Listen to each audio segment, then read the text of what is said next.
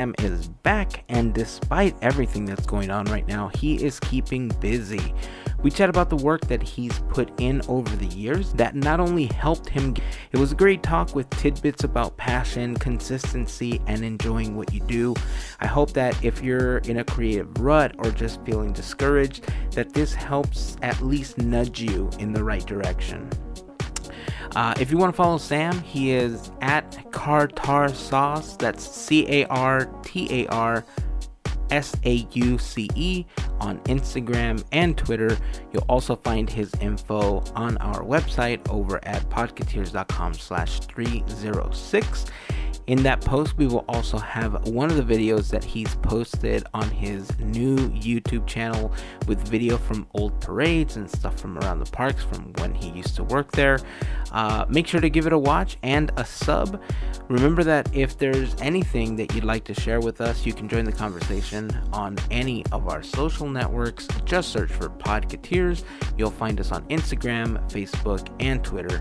Uh, or you can just leave a comment on the blog post for this episode, podketeers.com slash 306.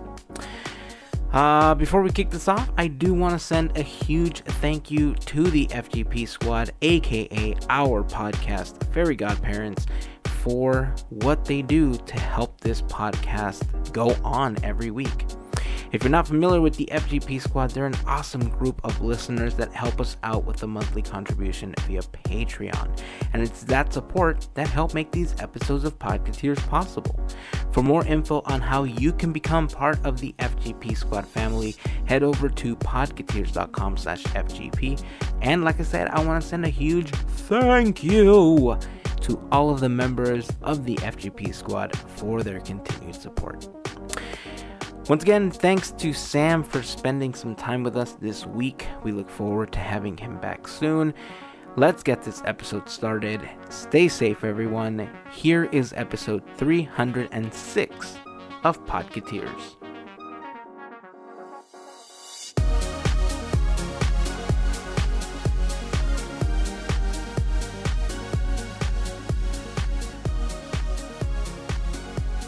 Well, I'm finally glad that I got my contingency plan up and running.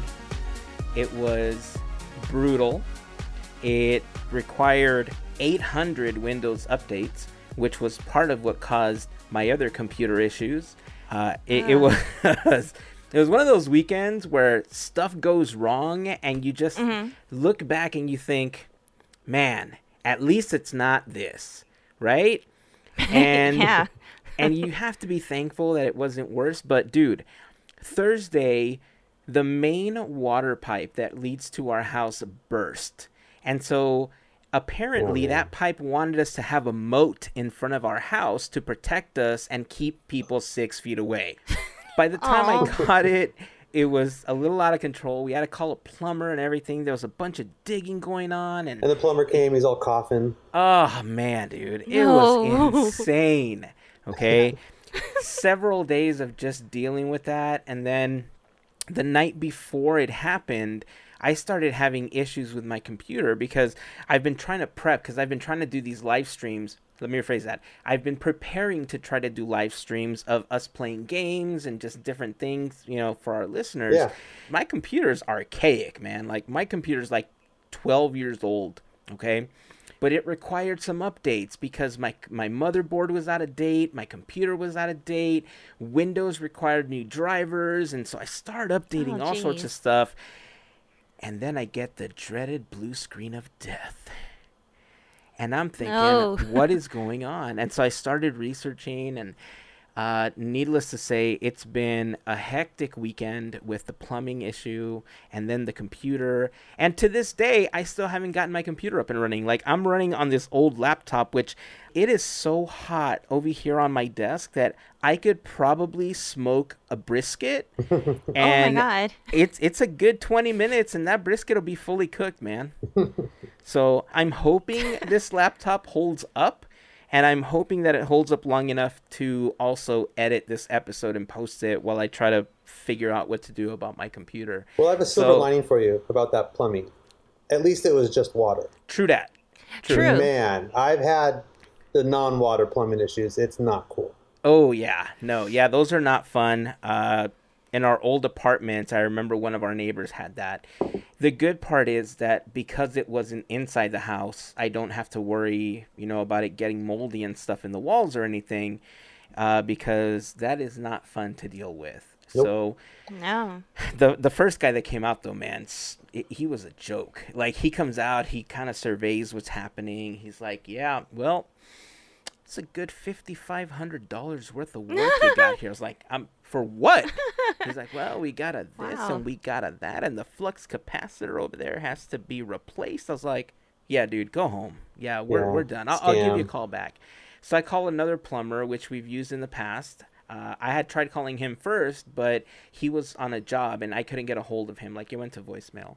That, that just cha-ching, cha-ching. And so, uh, so I call the second dude, and uh, he's like, "Oh, well, can you send me a picture?"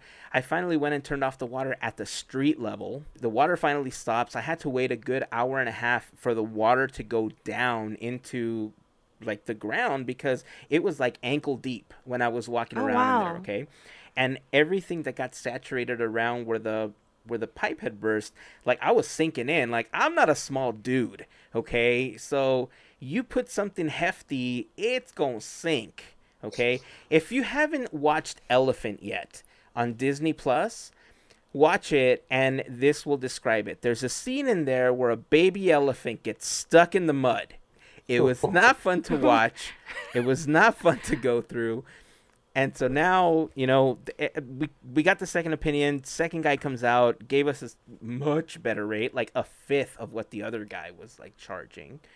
Um, and so that that's all fixed. And we've had to deal with a couple of other issues because some like garbage got into the pipes and stuff like that while they were fixing it. But I mean, it's all minimal outside of having to deal with that in the computer and still adjusting to now our kids are on a regular Zoom schedule at school, like during the week with their teachers and daycare and everything.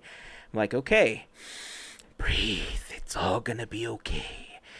We take a breath. We exhale. so yeah, it's it. Don't be jealous, okay? I know you're you're watching me right now and you're like, man, I wish that was me. Or all of you listening at home are thinking to yourself, man, I wish I had that type of excitement. Don't be jealous. Okay? I know what you're thinking, but I'm going to keep this one to myself. There you go. That's my weekend. How was your weekend? Not as bad as yours. Yeah.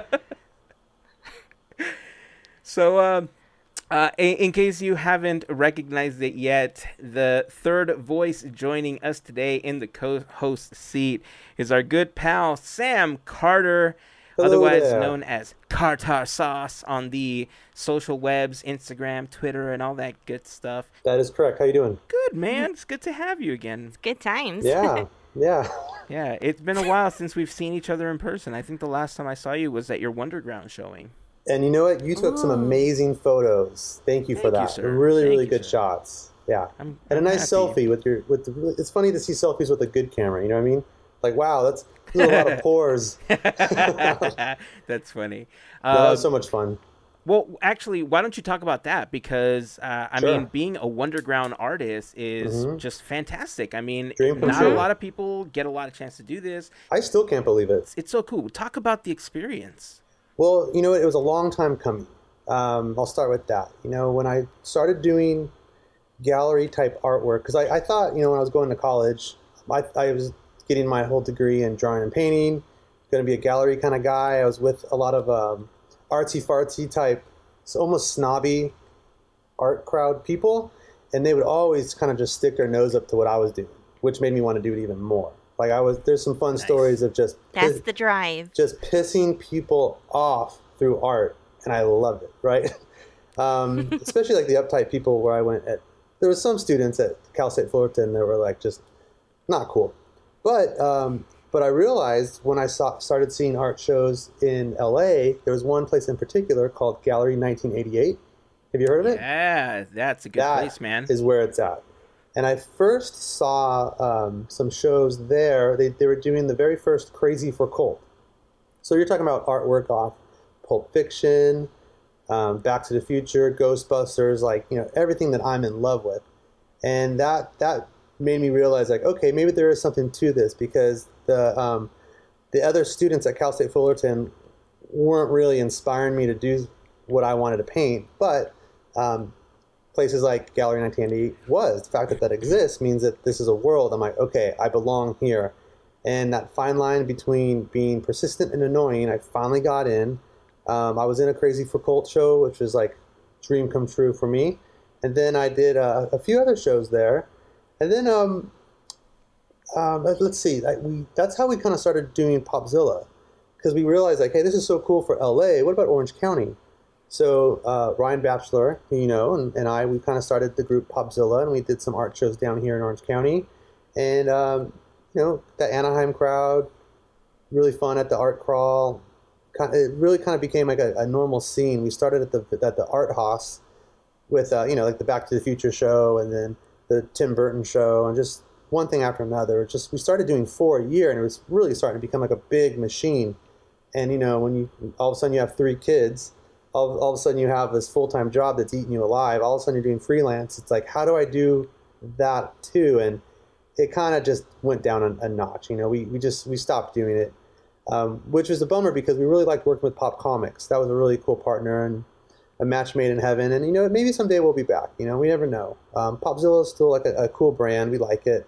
But um, we kind of just fell into our um, jobs to a point where like it just if you can't do it as best you can, we just decide not to do it. We did not want to phone it in because uh, we know how much attention it needs to like all the artists. The last thing I need is some artist saying, "Oh, Popzilla does this or that." Like they didn't cater to me. It's like, whoa, whoa, whoa. You know, like you know, we have real jobs, right? This is just for fun, and whenever it stops being just for fun, it's like maybe it's time to take a seat. So that was kind of mm-hmm. what happened with Popzilla. But I, I, think it'll be back someday. I think it, there's still some more stuff to do there.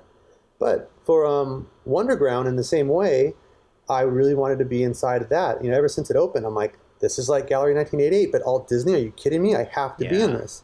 Mm-hmm. And what's interesting about that is my story of because everyone asks me, how do you get in? How do you get in? It's not easy, um, even for me. And I was an art specialist at Disneyland, so I was in TDA, and then we moved to the Scenic Fabrication Warehouse um, nearby Anaheim. But um, I, I was working with the merchandise folks all the time, and I'm like, hey, I got to get in the Wonderground. This is what I do. How do I do it? And I, you know, I couldn't because there was uh, a thing about being a cast member and being in there. There was some mm. trippy wires oh. regarding that that I couldn't do it, and I was like, oh, kind of bummed out, but kind of like, okay, well, that's the rules. I, I get it. Well, um, I think it was probably a few years later, I got a new job, and I put my three weeks notice in the first thing I did was I called my partners at Wonderground. I'm like, hey, remember we talked about Wonderground and you said the only hiccup was me being a cast member? Guess what? I'm not a cast member anymore after October. And then it was uh, eight months later. I was uh, my first show in 2013. So that's luckily I was able to already have a relationship with them. I've supported them with design from an event standpoint. So I knew them that way. But for mm-hmm. other folks, you know, it's almost like they need to find you in a way. So, yeah. um, but what's what's tricky is they don't necessarily want to see um, a bunch of your Disney stuff. They actually probably rather not see your Disney stuff, right? Um, they want to see your stuff that reflects your own style and your own take on things. And I think that would give them a, a, enough of an understanding of like, okay, we could picture what that would look like with a Disney flair.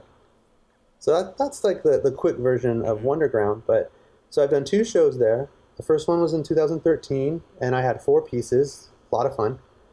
And then um, I, I couldn't wait to get back, but it was just it wasn't happening, and I wasn't sure. And I'm like, oh man, I hope I, I hope I could still be in it again, you know. And you know, just you gotta you gotta sit back and you wait, and then they call you up. They're like, hey, it's your turn again. You want what do you want to do? And you, you kind of pitch some ideas, and they, they, they kind of tell you what they'd like to see, and then you agree on it, and and then I got to have my second art show last year, which was probably the best day of the year for me last year. It was amazing. And then um, I had two pieces in that, and I, that's where I did the Country Bear Jamboree piece, and that's where I did the yeah mm-hmm. Fantasmic piece, and uh, that was a blast. Both amazing, by the way. Thank you. Yeah.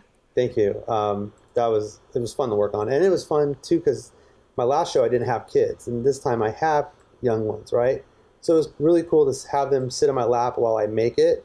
And so when they show up at the art show and they see it on the wall, they're like, "Oh, I get it now." Like you know, they're only four, Yeah. but like they're like, "Okay, that that's what's going on here. I get it now." Dad, this is, dad makes drawings, fine. Um, so yeah, and and now I'm working on some more pieces, which is excellent. I have six pieces in the works right now. Oh, that I'm is awesome! that, yeah. Congratulations! Thank you. I'm really excited, and the timing's right too. You know, just it's a good time to work on art. Yeah, and I want to get into that a little bit more, but I want to touch on a couple of things that you said. Uh, first of all, uh, one of the things that I admire about you, and I think is one of the reasons that we click on a lot of levels, is you said that if you can't put everything into what you're doing, why do it, right? Right. And that's kind of how I feel about this. Like, what we do here, how we live stream, and I get it. Live streaming now is just a click away with your phone and then you just sit down wherever, but I'm I like things to look nice, you know, and if Well, I yeah. can't bring it up to that Yeah. next level, it bothers me and I'd rather not do it until I get it to that level because there's going to be hiccups and there's going to be stuff that just I don't know, like how do I say this? I don't want me and what we're building to be represented by something that doesn't look good. You know what I mean? And Yeah. I think that sounds harsh on some levels to some people, but in my head, it doesn't compute, right? Like it, it scrambles my brain to not look a certain way. Well, everyone has a short attention span, right?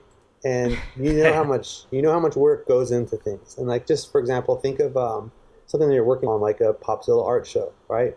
Um, you're staying up all night. You're you're working not only organizing everything and hunting down artists. You're working on your own piece. Um, to have one thing kind of represent all that hard work and have that. What if that one thing was something that just wasn't your your uh, you know your biggest swing at it?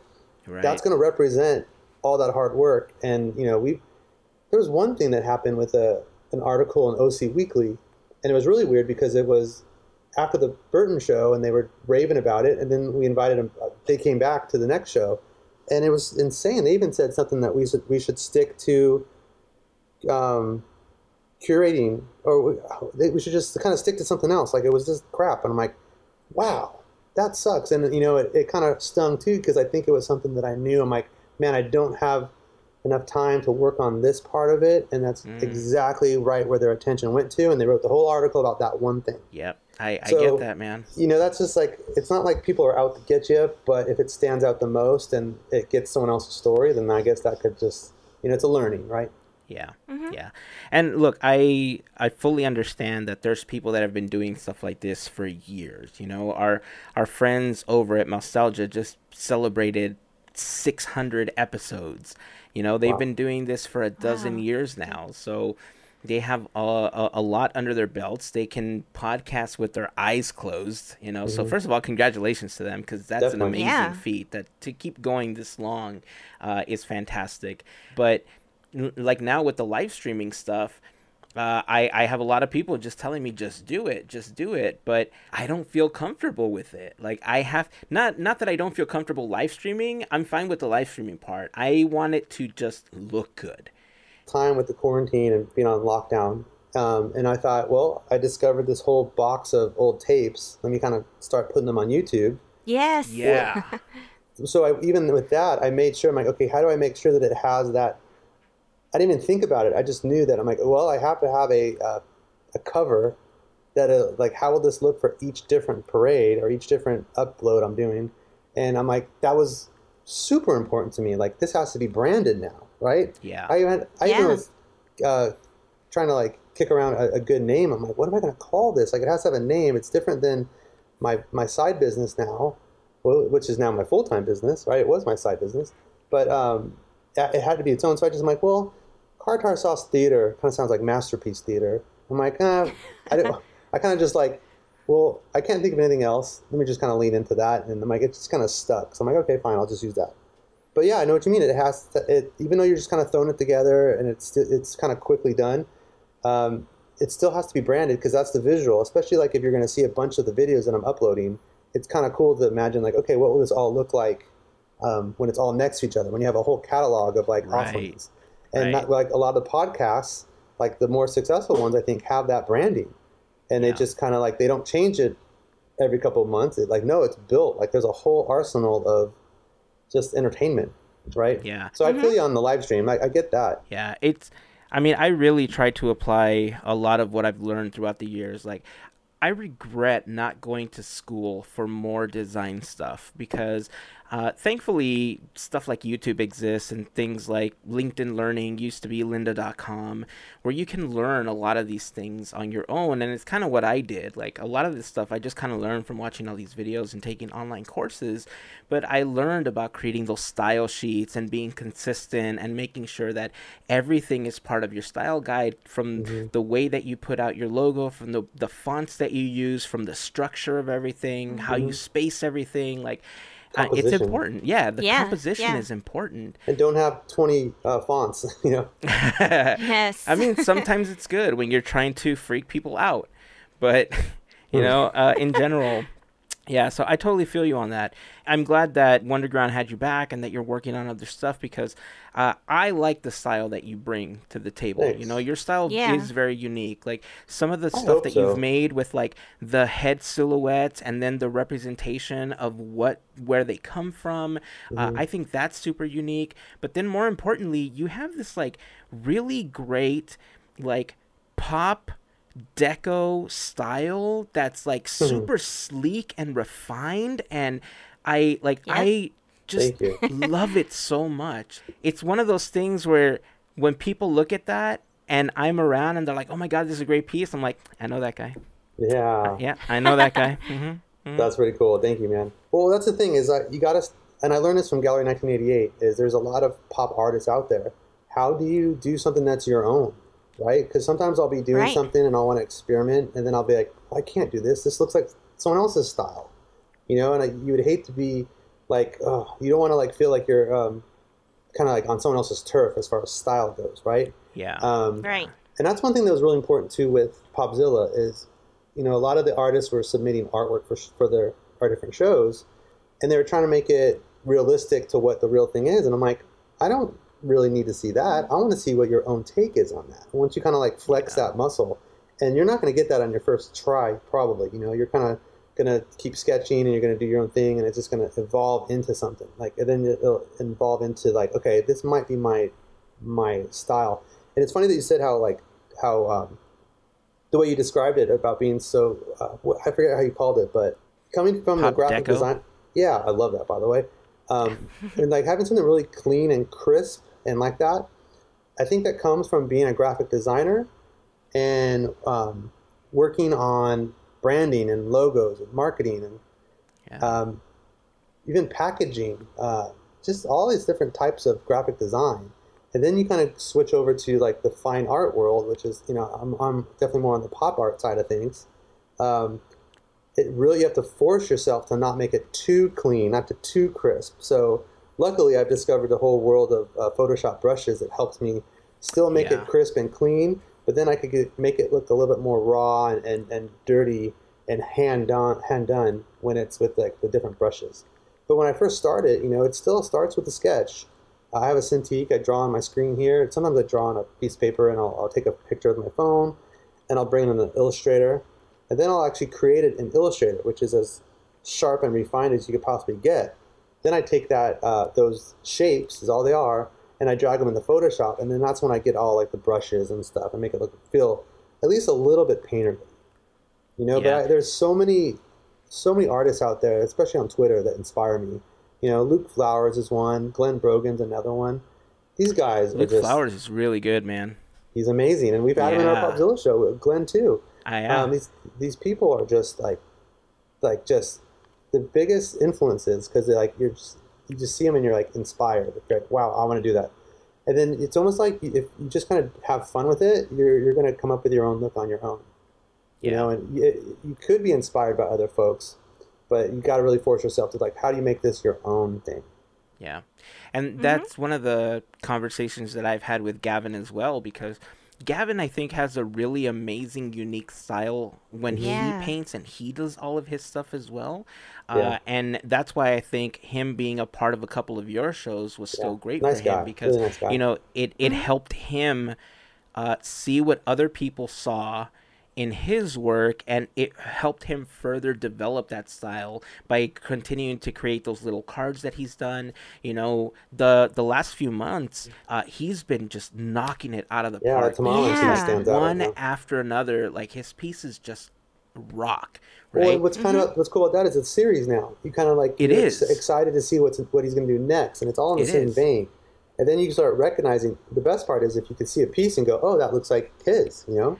Right. Mm-hmm. And that that i think that consistency is something that i try to bring across all of the things that i do right? Not just mm-hmm. like with the podcast the branding the website but also like with my photography. Like my photography very rarely strays away from the way that i process my photos. And unless i'm testing something out or there's like a challenge where it's like the black and white challenge or the blah blah blah challenge which sometimes I'll do but very rarely do I stray away from the way that I process things. Right. Well, you know, just like you got a strong brand. You know, like even just thinking of your podcast, I could I could visualize what I see on Instagram and what I see on Twitter. You know, so I, that's that's a good sign. Thank you. Yeah, of Thank course. Um, So- what's nice too is when you think about like um, do when you do when you're doing your artwork and you're trying to like crank something out, and you sometimes you have to you think this is going to be it. This is huge. This is going to be the piece that's going to just freaking go viral or go nuts. Like you're so excited about it, and then it just nothing. 10 likes, baby. Yeah, it might. It happens. Yeah, like you're like, what the heck? Yeah. and then it's so, it kind of just throws you for a loop. But you're like, but I was so excited about that. You know, it is what it is. Like as long as you got some satisfaction out of it yourself and it was fun to make, that's all that matters. But then sometimes you're you're doing something and you're like, this is a throwaway. This is almost just kind of something whatever. Well, that Yeah. takes off. That that's the biggest thing in the world. So it, it, I've I've had both of those happen often where it's like not just on Twitter of me kind of like throwing something out there, but something even like with artwork at a show, I'll be like thinking, this is like my favorite piece. This was so fun. Um, I love this. I hope everyone loves it. And you're like, it didn't sell, and it's still in my garage. yeah. And there's other stuff where I'm like, yeah, this was fun to work on, but I'm still selling prints of this. This is just that's just nuts, right? So Mhm. you just can't think too hard about that. You just got to make sure that you're enjoying what you're doing because if you really Yep. enjoy in all design, even like what I do like professionally, if you enjoy what you do, it's going to show through your artwork. Yeah. And Yep. even more so, if you don't enjoy it, it's going to reek. People are going to see it and go, "Oh, this artist wants to kill Uh-huh. himself." yep. You know? Yep. Yeah. I remember when we were doing the art walks, which is how Melissa and I met. Like I was running the La Puente Art Walk and the Covina Art Walk for a while, and uh, we had vendors set up, and I was selling some of my photography and some you know graphic design stuff that I had done. and I remember some of the photographs that I mailed out for, and they were printed on like metallic paper so that the ink really popped, and like all these additional measures were taken so that this piece just looked as amazing as possible. And people would like come by and they're like, "Oh, that's nice. That's that's nice." But then they would look We at this other piece that I felt was like a throwaway, and I printed at home on like my Pixma printer in my office, and they're like, "How much is this one? This Isn't that crazy? this is fantastic." Never I'm like, tell. That's the thing. I know. It's so weird. So weird. Yeah. But I, I guess as artists, we're always going to connect with something that we're most passionate with. And whether that connects with other people is really the differentiator, right? And sometimes we don't know. And that's Right. it's the fun part there's about so being many- an artist, but Yeah. also There's so many things that have to line up, you know, and you're not in control Yeah. of any of it. So you, that's why you just do your best True. and and don't put all your eggs in that basket. Like, yeah, and that's what's fun about it is at the time it was just for fun. You know, I had a full time job. I was working up at USC as the director of design up there, and I'm like doing this kind of stuff for fun on the side. I didn't care if I didn't sell anything or not. It was nice if I did. It's kind of a little slush fund, but um, at the time, but now that if I were to do it full time, I'm like that's a lot of stress. If you have to pay the bills, yeah, you know, you, that's a Yeah. different ball game, right? And I, I respect that, and that's tricky. So, you know, it's an interesting business, and you know, and, and it's hard too because you Yeah. put your whole heart and soul into an art piece, most of the time. And then um, if if it gets crapped on, you know that's that's tough. You know you got to be able to have a little bit of thick skin because you're putting a visual out there, and people are gonna have opinions. And especially, you know, if people are behind their computer, Yep. they're really it's really easy to have opinions and just blast stuff. Mm-hmm. So um, it's you gotta have practice with that too, and um, especially when you're curating and you have to, you know, maybe break it to some artists that, you know, maybe you're not ready for prime time. Maybe you gotta wait a little bit. Maybe work on this or that. You know, I've been told to f off a few times because of that, and I'm like, oh man, I swear I was doing this with the best intentions just to help you, but some artists don't want to be helped. They don't want to hear Yeah. that. So I mean, it is what it is. Yep, I've been on both sides of that too, man. Curating shows and you know trying to get into shows with my There's some divas out and- there. You know, Yeah. and, and what's what's cool about it though is you've seen the divas out there. It, it- hopefully, it helps to check yourself and make sure that you know you yourself aren't being a diva about something. You know, you kind of got to just take a step back and just look at stuff for what it is. Yeah. I think as I've gotten older, I feel like I've been able to appreciate the humble side of everything that I have, you know, because I, I, like the podcast, it for those of you that are new to the podcast, essentially the podcast came from this void in my life because I felt like my creativity was dying. Uh, my old job, like I was working from 4 a.m. to like 5 p.m. I was getting up at 2 o'clock in the morning to get to work, which was 50 plus miles away from my house and it was a production job. Like i i ran a print facility and uh, it was it was okay to pay all the bills and everything but it it had nothing creative and i was always so tired that i couldn't do anything. But i fell in love with podcasts. I fell in love with audible you know audiobooks and stuff because my commute was so far. And that's where I, I thought, well, maybe this is something we could do, you know? So I got, you know, one of my friends and my brother, and we just started chatting, and then it just kind of turned into what it is today. Well, how many shows have you done? Uh, we're at 306. Six. 305. That's yeah, impressive. 306 is this one. Yeah. Yeah. And Wow, so congrats to you, man.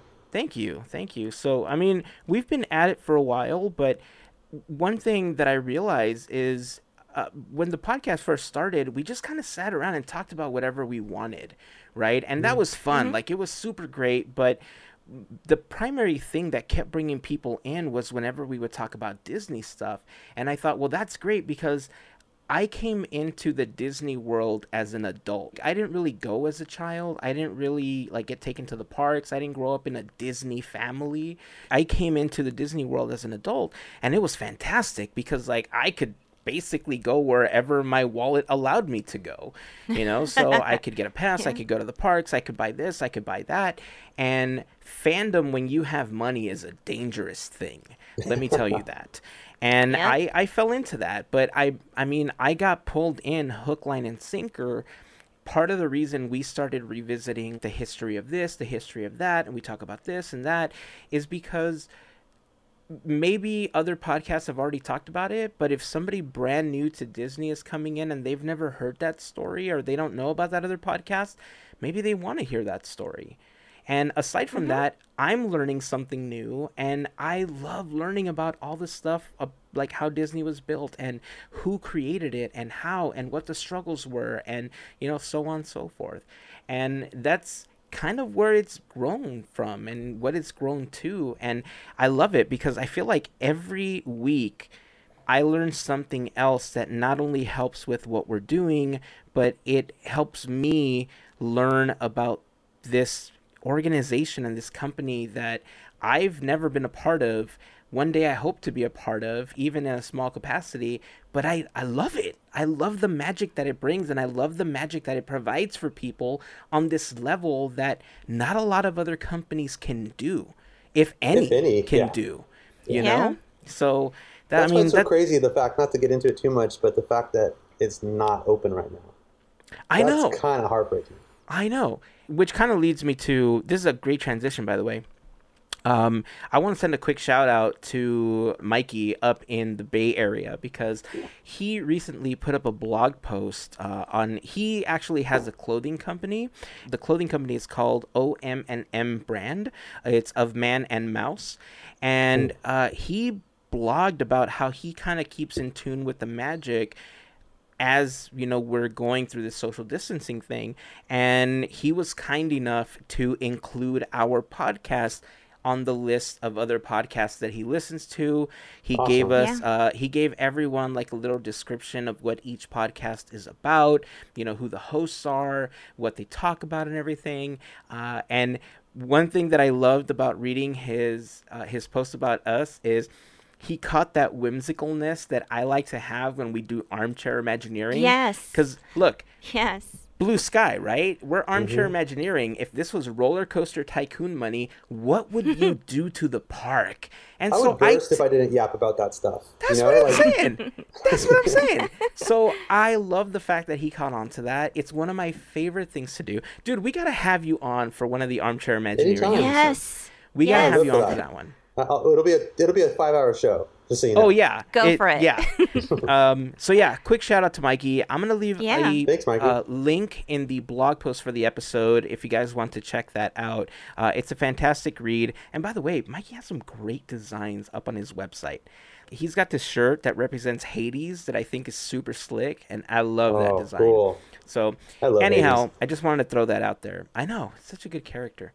Um, so yeah, uh, back to you. There's a couple things that I wanted to to talk about before we move on, but um, you you made a huge decision this year, and that was to move Mhm. away from this job that you've had a really long time. Talk about kind of taking this leap of faith, right?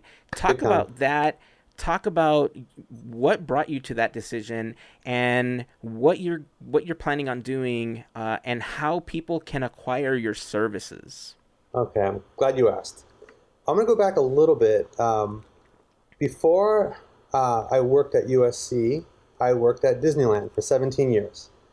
In the last seven years of my time at Disneyland, I was an art specialist and I was working in entertainment, um, on events, parades, photo locations, private parties, um, anything entertainment. Basically, anything that wasn't Imagineering. Imagineering is kind of like the permanent stuff for the most part and then creative entertainment would kind of do the overlays or the themes or they would partner on stuff well um, working with them for so long i started working with resort enhancement on some projects working on um, like the first christmas in dca and working on cars lands christmas working on some halloween type stuff in fact my last real project while i was at disney well, i was the art director for mickey's halloween tree and my last Nice. day was Nice. opening night of the party which was painful. Like you, I love Halloween, and I love Disneyland. Like to say goodbye at that time was really hard. But you know, I um, I had an offer I couldn't say no to. Tommy Trojan reached out, and after three interviews, I kind of said, oh, maybe it's time. And I was, you know, thinking about that place in my life. I'm like, what do I want to do? Do I want to buy a house? Do I want to have kids? Do I want to do all that kind of stuff? Yeah, I might not be able to do that at, on Disneyland's dime. So I, I kind of tried to put on my big boy pants and I said goodbye. And what's funny about that is when I wrote my goodbye letter to like all my my uh, buddies at work, you know, I didn't even like do a distribution list. I, I handpicked like probably like 400 people, and I just wrote my goodbye letter and I'm tearing up and I pressed send, and instantly, so you can't tell everyone because you're you, you know you worked there for like 17 years, Yeah. um, and then like instantly like what? What? Wait wait what? What? What? No like you're a lifer dude. How could you leave? And i'm like i know. I just i don't know. I it, i don't know how i could leave but I, i'm leaving. No one could believe it. I couldn't believe it. Well um, so i went to work design at usc and i and i knew i, I i'm i'm pretty confident. I knew i was good at what i did but was am i good at it because i'm a total disney nerd or am I good at it because I'm a good designer? So I thought this would be like the primo test on that, and um, you know, I, I wanted to kind of wrap my design brain around stuff that I'm not fanboy about. So I thought that kind of was a good test, and I think I, I passed the test. But then, you know, I maybe for the first year, I think maybe that first year I might not even gone to Disneyland, which is insane. You know, you're literally Wow. at Disneyland almost every day. Yes, because you're working there, but you go there on your day off. I, I was able to step out of that world and kind of just not even think about it. I would listen to my podcast still. Um, um, Ricky Brigante from Inside the Magic back in the Yeah, day was like Inside one I always listened to. Yeah, um, it's different now, but like back in the day, I just was really into that. Um, and I was kind of just kind of kind of keeping track on stuff, but not as into it as I was before. But I'd say about a year went by, and I just kind of started missing the pixie dust. I like to say, and I missed doing projects that I was that energized about. Like I'm, I'm not necessarily into college football, or I'm not necessarily into it, university menu designs. You know, some some, some things like that might not really kind of uh, inspire me to do what I really want to do. But I'm like, you know what, this is a, a good job. I really like my boss, and um, it was definitely paying the bills. So I kind of just kind of hung in there, and I thought, you know, maybe I'll be here for five years. And turns out five years comes and goes, and six years, and then seven years, and I'm like, what am I doing here? There was some times when I'm like, I'd wake up and I'm like, I can't believe I still work here. You know, it was like, Mhm. and it, it turned into one of those things where I'm like, yeah, I need to start looking. And so I started looking about uh, my fifth year, but I wanted the right fit. I wanted for something to be like something that energized me, that, to do what I really wanted to do. And coincidentally, around the same time, I, I, I started being asked to help out on projects. Because, you know, I've met a ton of people working at Disneyland, and a lot of people move on from Disneyland and they start their own things. And those mm-hmm. things, those people remind, they remember you when they need something. So they're like, hey, are you doing any freelance? Are you doing any side work? And I'm like, what do you got? And these projects kept kind of piling up, piling up to the point where I was working two full time jobs. And I mm-hmm. kind of say that it felt like two full time jobs, especially with the kids. You know, it's hard to, you work your full day in LA. I live in Orange County, so you take the train ride to LA, you work out there for eight hours, you, you take the train back, then you're dealing with your kids until, you know, bedtime, and then you're starting your second job after they go to bed. I don't know if I was really producing my best stuff, like you just talked about. Um, Yep. If you're not being able to put your all into it, like don't do it, right? And I, it was hard because I was doing some projects where I'm like, man, if I only had more time to work on this, there just wasn't enough time in the day. And that's when I first started thinking about maybe it's time to quit and do my own thing. But um, I kind of kept it at just part time. You know, I always joked that my, my side hustle. But my side hustle was being like a creative director for the Queen Mary's Christmas program, you know, and that was a little bit uh, show director, creative director, designer, event planner. It's like you wear all these different hats at the same time, but it's it's almost like that Imagineering type uh, direction or attention to detail you want to give stuff. Like you know, a themed area of like the Queen Mary. If you have the opportunity to make it Chris, a Christmas event, what would you do? Well, you kind of think, well, what would Disneyland do? You know, what would if if Imagineering was to do something here, what would it be? And I kind of just put that hat on and thought, I'm like, well, you know what? It would be the heyday of the ship was probably in the 40s, maybe the 30s. Um, let's make it look very Mhm. themed, very vintagey. And as far as the design goes, I was able to do the marketing for it too, which is amazing. Um, I, I started off with an attraction poster for for this is this would be the Yeah. attraction poster that would be in the tunnel, and um, everything else was pulled out of that. So I made my attraction poster for Christmas of the Queen Mary, and um, all the branding, all the visuals, all the logos, all came from that. And and can I say, by the way, not to intervene too much here, but the the style that you used to create that poster was so amazing because it felt reminiscent of the Tower of Terror and Yeah. Buena Vista Street, like all at the same time. So like you just nailed the era you. and you nailed the style perfectly for the Queen Mary. Thank you. I think you know it's funny because I mentioned I worked on Christmas in Buena Vista Street, so I, I helped design the, the Christmas tree that's out there, the ornaments, nice. even the the kind of branches that are on that tree. Because if you look at Buena Vista Street is in the 30s, right? So okay, well, Right. if you kind of do some research, what does a Christmas tree in the middle of a central plaza look like in the 30s? They always had it was never like a perfect cone. They always had these like kind of wacky branches that stuck out. And if you look closely, it is it is like that, right? And what's nice about that is um, Mickey did exist in the 30s, you know. So we did some research on what did they have any Disney themed ornaments in the 30s, and they did. They they actually sold these bells with the with the Fab Five on them, and um, they were like hand drawn, old school black and white Mickey Mouse characters on it. So we found a set on eBay and actually redrew the same art that was on the ones that they sold there. So it's and they still if you go if you look at the ornaments on the tree in Buena Vista Street, there are these bells, and it's like I'm just waiting for that one grandma to walk up to the tree and start crying because she's like, "Oh my God, I had these ornaments as a kid." You know, that's what I'm. Oh, that's so I'll cool. never know about it, but like I just hope there's one or two people that like would remember it. And if you if you uh, Google search, you know, um, 1930s Christmas lights or Disney or Mickey Mouse, you'll see them. There's they're on eBay, and I've I've thought about buying them, but Well, we'll put it out there for all the listeners. If anybody Yeah. listening has ever had these ornaments or someone in your family has had these ornaments, join the conversation and leave a comment over on Instagram, Facebook, Twitter, or on the website. Tag Sam and let him know that somebody finally cried. then I'll be the one crying. It would be so cool. And, you Imagine if someone had pictures. Oh, it'd be so Yeah. Yeah. Ooh. Really so I'm cool. sorry, you were saying. Yeah, no, it's great. but I- what's funny, I think since the 30s, Christmas for that, and then looking at 1930s for the Queen Mary. Um, also looking at what DisneySea did, because, you know, I, I'm a big theme park nerd. And, you know, even just living through the time in Orange County when they were talking about Port Disney being built around, the Queen Mary, Mhm.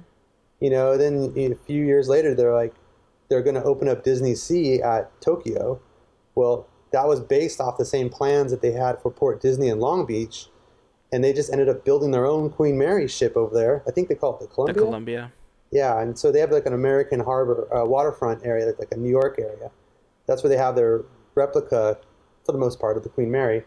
So I kind of imagine like, well, what if this really was Port Disney? What would they do? And and that that style of attraction poster would definitely fit that look. hmm So yeah, you, you you nailed it by having that comparison. Yeah, it was fantastic, man. So, Thank you. It was fun. Um, okay, so you so you've been working for USC. You know, you realize after seven years, you know, I I got to do something else. So Well, you you, know, I- start I, working on um, the Queen Mary. What was the next step? Well, you you know, it's you think about okay, Queen Mary's one thing. What about the rest of the year? You know, there's some a lot of Halloween projects that were going on, and that's another thing that really um, energizes me. Of course, like you know, Midsummer Scream. Think about all the Halloween convention type stuff. Um, you know, and that's how I got connected with the Winchester Mystery House. Also through old Disney connections. They remember me from back in the day at Disney. They called me up like, "Hey, what do you want to you want to do some stuff with this?" You know, I did some um, projects for them leading up to this, but then they they had a brand new Halloween program called Unhinged. Have you heard about Unhinged? I have I heard about it through you. Awesome, yeah, I talked Yeah. about it. um, Unhinged was really cool, and I got to do their um, helped out with all their branding visuals um, and logos. And so when creating a logo like that on a new project, I got to pick the brain of the show creators because I wasn't coming up with the show or the tour or anything like that. I was just making the logo for it. So I knew the, the questions I had to ask to make sure that whatever logo I do actually reflects what the actual event is right? You know, think about it. The Winchester Mystery House, what could it be? And we landed on a keyhole. It is kind of mysterious, like a spooky mm-hmm. light coming through the, the key. And I'm like, all right, well, unhinged. The keyhole will look great for the eye, and we kind of played with it, and it's it's stuck. And one of the things I like to think about too when I'm designing a logo is you never know all the different areas that it's going to be used. And um, I'm I'm actually creating my website right now, and I kind of just wrote a nice article about when you're coming up with an art uh, a logo and it's for something, yeah, obviously you have to make sure it's going to look good on a black background or a white background. It's got to look good when it's really small. It's got to look good when it's really big. Or how, what does it look like when it's embroidered or silk screened? Or how do you even use this uh, in all these different ways? Like how would it look on a banner? Or even single tone. Yeah, uh, for sure, right? And you know, um, what's funny about that is I, one of the things I could never even thought of, but they ended up doing a projection mapping show on the Winchester Mystery House, and they actually used the logo on the projection mapping. So I'm like, that's That's another so thing you never even think about. You're like, how is this going to look when it's projected 30 feet across on a Yeah. old house? Uh, so th- there's just like so many fun projects, and it started adding up, and I started having to turn down projects. You know, um, trying to do some projects where I, I need to like maybe put in some vacation time, or I'm working on other stuff because it really wasn't driving me anymore. Um, and I kind of just started. I didn't want to just quit because I really liked the people over there. They were like family for me. That I started working with them on picking a date of like, okay, well, what if I was to leave and when would my last day be? And I picked my last day and, you know, a few months with ahead of time. So it could be like a nice transition. Didn't want to just kind of bounce. And it just coincidentally, here's the scary part is my last day was March 31st. And then, you know, all this junk hit. Yeah. Whoa. So that was the timing of that is crazy. Luckily, I'm still working. You know, I'm working on Wonderground stuff. I'm there's some stuff coming up in the future that's really exciting. Waiting for those parks to open because I think that'll you know make more projects coming in and Yeah. um, Yeah. so it, doing projects that are big like Queen Mary, it really turned my projects into more of an agency. in a way because I would hire people to assist me because I can't do everything by myself. But the same way the old the people that I've worked with kind of pull me, we all kind of pull like these dream teams whenever we need some a specialist in this or that. And that's how we could go and address, you know, decorating 40 Christmas trees on the ship.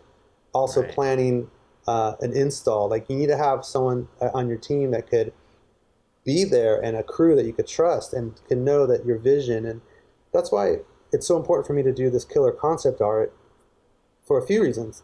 I'll do a concept art for my event at Queen Mary, where it um, it gets the um, the visual completely understood to like my client. My client could speak the language now because they've heard my enthusiasm. I'm excited about it. I'm you know bouncing off the ceiling because I'm so stoked about what we're going to do on the ship. That they take that artwork and enthusiasm, they talk to their bosses, who are the ones that are going to approve it and pay for the damn thing, and then so it's important to go up that way. So it's also important to, to show it to your team, and then they when they're installing it for you, and they're going to be there maybe at two in the morning, and they're going to be kind of like setting things up how you want it. There's a visual, there's a piece of art that says this is how I want it to go, and then they speak that same language and they could help set that up for me. So I'm not going to be there 24 hours a day. That, and that's why it kind of turned into Carter Creative, and it is it's you know Carter Creative Design Services, but it is like an agency where whenever you need anything, they call me up and I'll, if needed, excuse me, I'll round up the, the, the experts, and most of us come from Disney. Uh, most of us have been around. You know, there's so many different fun projects like that. So I knew the time was right. I didn't know that the coronavirus would, would happen right about yeah, now. Yeah. But uh, like I said, luckily I'm still chugging along and I'm working from home. It's just challenging with the kiddos, obviously. But um, besides that, it's been it's been fun. The the one downside though, and this is me just being a crybaby about it, is that you know, for for maybe two or three years, I would just every time someone would leave USC, they'd have like a going away party, and I'd be at the going away party, and I'd be like, man, I wish this was my going away party. You know what I mean? Like it's one of those Yeah. vibes of like, well, then I, th- I started thinking about it for three months. I'm like, what's my going away party going to be? Because I don't know if you knew, I, I, I kind of created the Tommy Trojan and Traveler costumes over there. And someone asked oh, me. we that bought we bought the Funko. Trust me. Oh, awesome! I got them right back. Right Yeah, we got the Funko. Oh, that's so cool. Thank you. Um, well, I um, I said like my only request, just make sure Tommy Trojan shows up. Like that's all I wanted, right? And then we had a we had to work from home. We didn't know for how long. So my ah, last my last three weeks was working from home, and I didn't even get a going away party. But they did say hopefully when this all blows over, they'll, we'll do something at the Coliseum, which would be cool. But Well, we we have to make sure that happens for you because that's garbage. fun. I Yeah, yeah, I was I don't about that. appreciate that at all. well, I, I I understand that it's tough because of everything that's going on, but you know when you first told me what you were doing and how you were gonna venture out on your own like this, you know it's funny. There's a lot of people that I talk to that tell me things like that and I've been in that situation before. It's tough, man. I unfortunately because of our circumstances, I just couldn't make it work and I had to go get another job, you know. We I had to start working again. But you know, I've talked to other people that I, I have to tell them like look the reality is this this this and this. This is what you're going to run into. This is what's going to be difficult. This is maybe where you're going to struggle and this and this. And it's so funny man. Like when you told me about it i didn't feel like i had to tell you any of that. Oh, like that's so like sweet of you. for you like i just felt like yeah dude he's going to make it. Like one Thank you're you. talented as hell. Two you know what you're doing. And three when you were talking about how you execute things, you said something super crucial that I've struggled with in the past, and that's communication. Like, Mm-hmm. it is so important to communicate your vision and No how to execute it. Yeah, you can't just spring something on somebody and then expect it to look like it's a a million dollars the next day. Yeah. and and being able to communicate that. And i've been on that boat you know because i've i've been around when you were setting things up at popzilla i saw that communication and i experienced it firsthand and we talked a little bit about it and i thought man this dude knows what he's talking about. And so when you first told me i was like man he's gonna forget about me once he's famous. And i thought he's, he's oh, just Never. gonna make it. And i thought man Dude, I was so happy to see you when you came to Wonderground. I just thought it was so cool. Oh, I, I I was happy to go, man. I I love your artwork. You know, you're awesome. Your kids you. are the sweetest. Your wife is fantastic. You know, I I consider myself fortunate to be able to call you my friend. Thank you. You know, and so Aw. anything I can do to support that, you know, I'll, I'll be there to support. Thank you, Sarah. So. Oh yeah. Thank you so, So, much. You, you said you're you're working on a website right now. Tell everybody what that's going to be and everything. Right. Well, that's an, see. Here's another thing. It's it's as, as of now, it's still samcarterart.com. Okay. Um, but at the same time, you know, I want to kind of switch that over to Carter Creative, so that'll be some some fancy working stuff over there. But um, yeah, that's the challenging thing too, right? We were just talking about having making something the best that you possibly can make it. Well, every time, ever since we started having websites, especially websites of your art, I always got hung up on what the damn website looks like versus the content that's on the website. So that was my goal with this one is, you know, because working at USC, we were designing the websites over there as far as like the, the LA Coliseum's website or even um, the bookstore website, different um, different ones over there. It's probably a handful. Uh, Some restaurants had their own websites. So I was designing a lot of that, and I knew which themes I liked, and I knew what, what I really wanted mine to have. And so I, I picked, um, if you're familiar with websites, you know, we, we use WordPress and we use the theme called Brooklyn. It has like a parallax type of look. I'm like, well, I know I want to have that. Well, how do I have that and pick a main image at the top and like some featured projects? And then I'm, we want to write a little bit about it. We wanted to have like a blog part to it too. So it's a lot of elements, man. And I'm having my brother-in-law uh, help me out. We're working together on this, and he's a whiz at this stuff. So if anyone needs a website designed, I got the guy for you. Hit me up for that too. Uh, so getting all that done, but you know, then I kind of have those flashbacks of like, man, I'm thinking too much about what the website looked like. But it goes back to like, well, people have short attention spans. If they see a crappy website, this is really your business card. This Yep. has Yeah. to really stand out. So I, I like to let the artwork stand uh, speak for itself, but I'm kind of going with a, a, a short and sweet mission statement. It's really talks about the art of the experience because that's basically what I do. We're creating the visuals to help bring your event to life, meaning whether it's a festival or whether it's a, a theme park ride or a land. Um, you know, a food and wine festival. You know, a couple years ago, I found myself doing the Tournament of Roses' very first food and wine festival called Sip and Savor.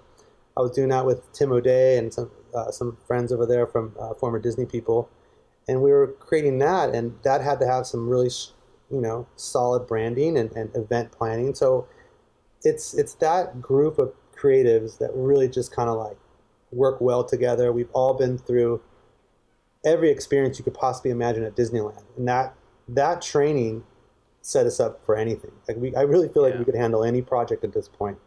Um, you know, if it's one thing that's just me working on it, that's great. But if I, I'm, I can't wait for the next big project that comes along where I could kind of get my dream team together again. And uh, and when, when we need a photographer, I know who I'm calling for that too. Just so you know. Oh, thanks. It's Melissa, go. right? Melissa. yeah, Sure, with my iPhone. exactly.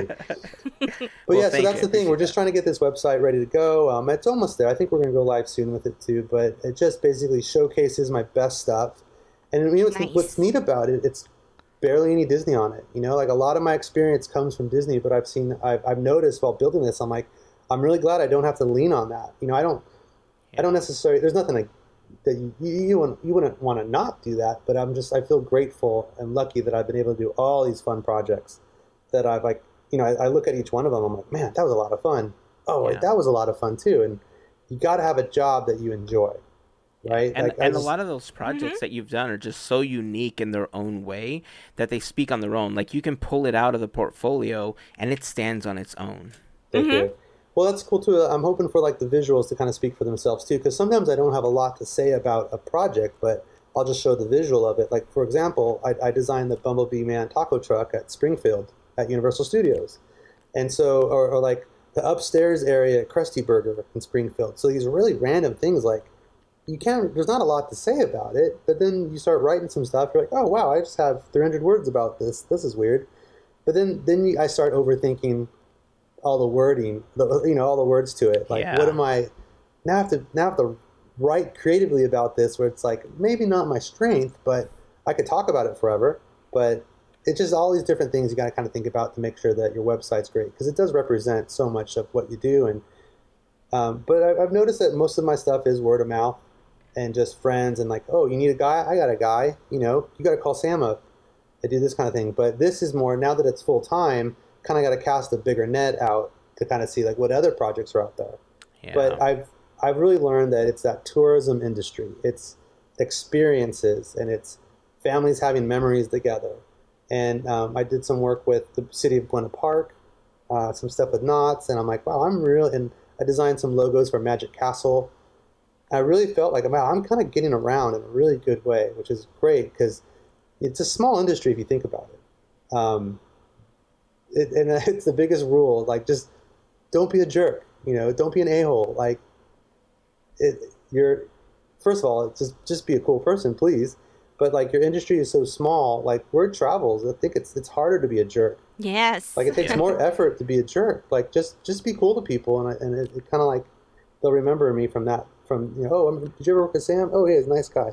Uh, so yeah, just just be cool everyone, and you know, don't burn any bridges, and hopefully everything works out. That is a fantastic way to just end this.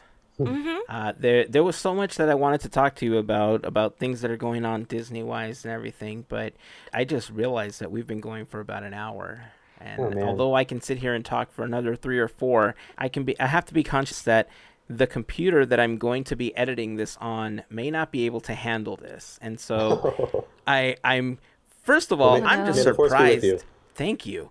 I'm just surprised that it made it this far. Let me just say that. so uh, I'm I'm gonna uh, we're gonna end on that note. Um, we'll have to have you back and talk about some of this other stuff, uh, especially Anytime, man. considering the Yeah. parks are closed and everything. Uh, I appreciate you being on, man. I appreciate you. And uh, Thank you. You too. one thing that I do have to touch on is March Mayhem ended on Yes. this last weekend. And, uh, you know, this was the second tournament that we did this year. Obviously, we did March Mayhem. It turned out to be a hit, and we let the listeners decide whether or not they wanted us to do a second tournament just to pass the time while we are Why in not? our homes or not. Right. And it was a resounding 99%, I believe, 98 or 99% yes. There were a handful of people that said no. But the majority won. We ended up doing March Mayhem in April. And by now, hopefully, you know that Mulan took the tournament.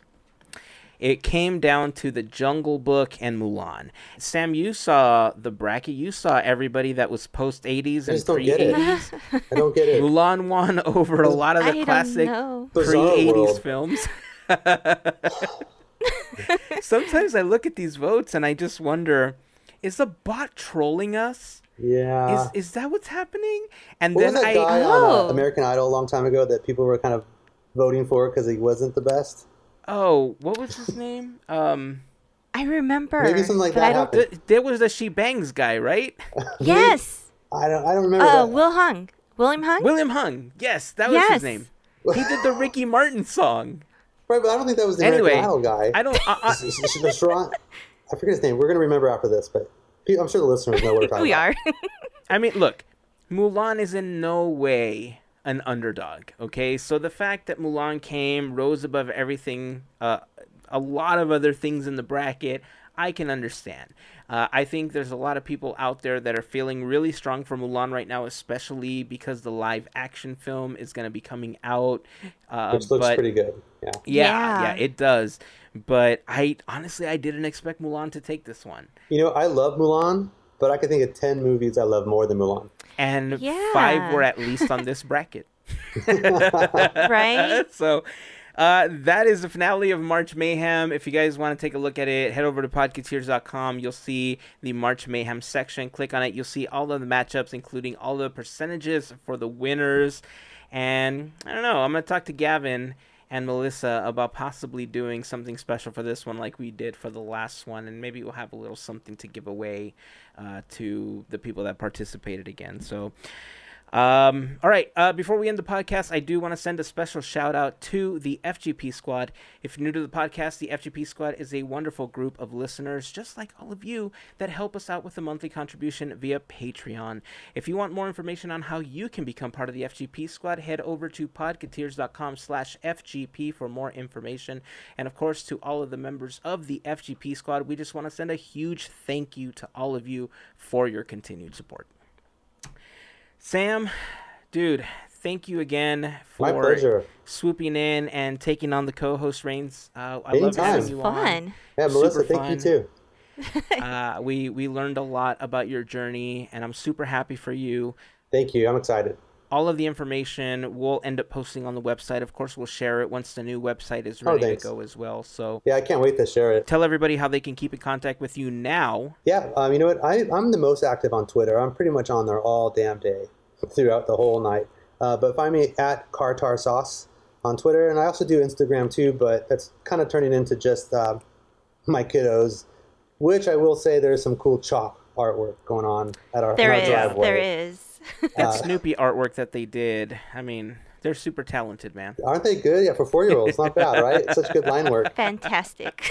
Hey, you know what? At least when we do the Back to the Future logo, just to hear my kids say Back to the Future and like they, they know it, and then they're talking about the arrow and the logo. They're like, "Why is there an arrow?"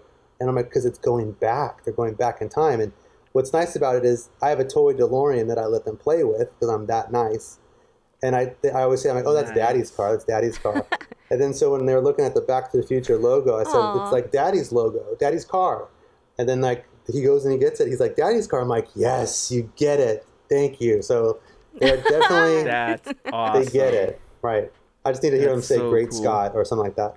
But they were watching Ghostbusters Yes. with me the other day, and then I'm not even kidding. My we're watching Ghostbusters, and my kid comes in. He says, "We got one," and slams his hand down. I'm like, That's "Awesome!" cute. fantastic. Like I'm doing Yeah. parent winning. It's yes. so good cool. job. Like my kids also come over here and they tell me these random things from these old movies or these old video games. Right now, they're really into all of our old retro video games because they're playing my old N64 games, the Nintendo, the Genesis, like they're they're just having a blast. And so they're coming back and they're Mhm. like, "Dad, I found this secret and I found this and this." I was like, "You don't say. What?" They think you're the smartest person alive for like being really good at these games. Yeah, like, how did you do that? I'm like, right? I've been, tra- I've been playing this for 30 years, kid. well, thanks for having me for sure. Anytime you want to talk, I'm always I'm always around to nerd out. I appreciate that, man. Thank you so much. All right, so that's going to wrap it up for this episode. So until next time, keep dreaming, keep moving forward, and always remember to pass on the magic. Have a fantastic week, everyone. Bye.